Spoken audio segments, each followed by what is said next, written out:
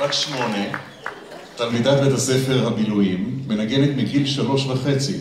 בהיותה בת ארבע החלה ללמוד בכיתת הפסנתר של דוקטור ילנה סמבורסקי אתקין. כבר בגיל שש היא נגנה לראשונה עם התזמורת הסימפונית כסולנית.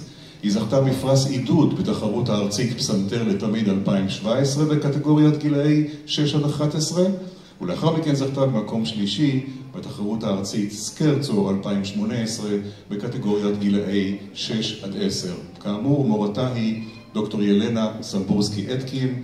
מאיה גילילוב תנגן לנו את הפרק הראשון מתוך קונצ'רטו מספר 11 ברה מז'ור לפסנתר ותזמורת מאת יוזף היידן.